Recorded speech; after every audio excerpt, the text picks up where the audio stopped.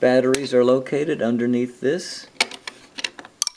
Snap the cover shut, rotate it around, your test button is here, stand back. Thank you kindly.